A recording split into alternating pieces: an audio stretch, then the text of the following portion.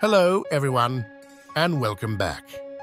Today, we will explore a crucial topic that holds substantial implications for the economy and well-being of Afghanistan. At the same time, it's causing a noticeable strain in the relations between Afghanistan and Pakistan. On December 10th, the Ministry of Water and Energy, under the control of the Taliban, made a significant announcement regarding a forthcoming project. They revealed plans to construct a dam on the Kunar River, and the details are quite impactful. Now let's get into the specifics of this development. The ministry outlined that the proposed dam on the Kunar River is designed to generate 45 megawatts of electricity, a substantial boost for the region. Additionally, it aims to irrigate an extensive area of 34,000 hectares of agricultural land. These figures underscore the scale and potential impact of the project on the local economy and infrastructure. The Kunar River spans a length of 480 kilometers, coursing through northern Pakistan and eastern Afghanistan. Its source lies just south of the Hindu Kush Mountains, situated in the northern region of Badakhshan. Flowing southward, the river eventually converges with the Kabul River in Afghanistan's Nangarhar province.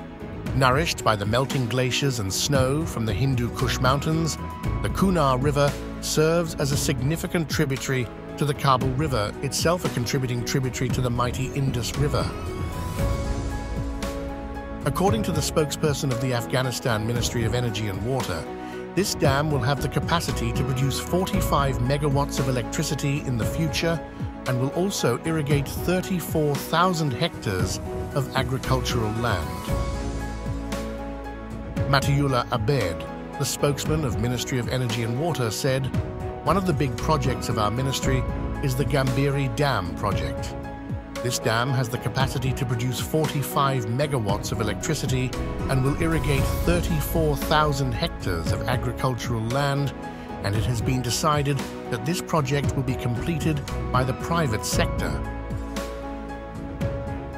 The spokesman of the Islamic Emirate said that the management of Afghanistan's internal waters is a fundamental right of the Afghan people, and for its management, large financial donors are needed in the country. Zabiullah Mujahid, the spokesman of the Islamic Emirates, said, We have to manage our water, whether it is in Kunar, Faryab, Farah, or Helmand. This is the right of the Afghan people. They should make good use of their right, and in this regard, the Islamic Emirate of Afghanistan, as one of the serious decision makers, should make it one of their priorities. A number of analysts, welcoming the action of the ministry, expressed that the creation of this dam in Afghanistan not only has economic value, but it will also increase regional credibility.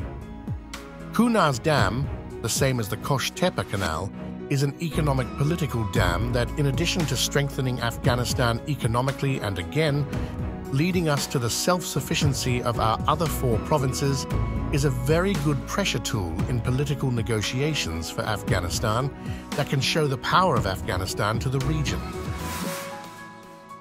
According to Najibullah Sadid, an analyst, the construction of this dam is even in the interest of the neighboring country of Pakistan, because it will hold back a lot of water during the flood season and reduce the intensity of the flood downstream. According to Pakistani authorities, the unilateral decision by the Taliban to construct a dam on the Kunar River marks a significant and potentially decisive turn of events in Pakistan's long-standing relationship with the Taliban. This move has not only caught Pakistani officials off guard, but has also intensified the strain on their already delicate ties with the Taliban. The construction of the dam on the Kunar River represents more than just a hydrological project. It has become a symbol of geopolitical tensions and strategic maneuvering in the region. The river, which flows from Afghanistan into Pakistan, holds immense importance for both countries, not only as a vital water resource, but also as a factor in the historical and geopolitical dynamics of the region.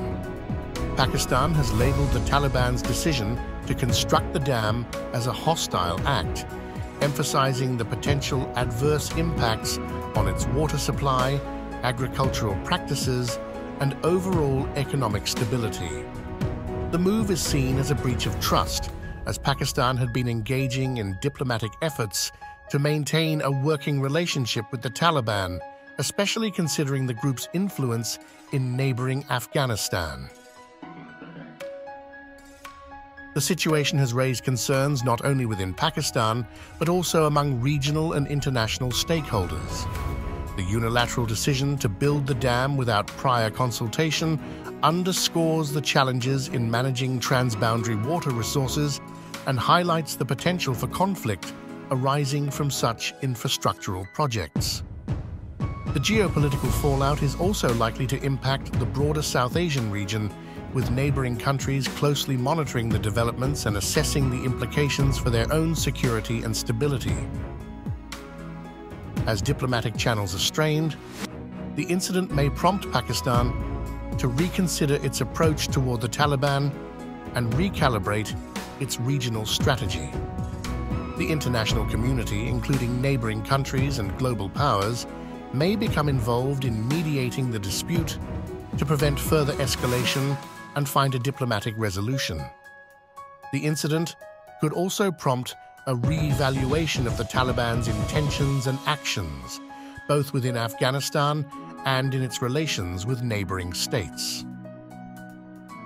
The construction of the dam on the Kunar River has thus become a focal point for geopolitical tensions, not just between Pakistan and the Taliban, but within the broader context of regional stability. The incident highlights the complex and interconnected nature of relationships in the region, with water resources emerging as a potential flashpoint for conflict and a barometer for the overall geopolitical climate in South Asia. Water management and dam construction are critical in Afghanistan to address water scarcity, support agriculture, and provide energy.